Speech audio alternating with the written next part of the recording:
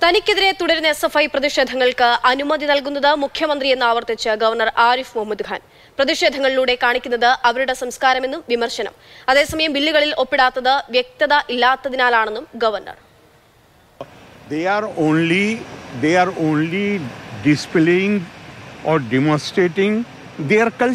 They are, in my case, they are burning only effigy. They have burned so many people. They have killed so many people in Kannur district. And other places. What is important about it? In my case it is only effigy. But they have actually killed people in kannur district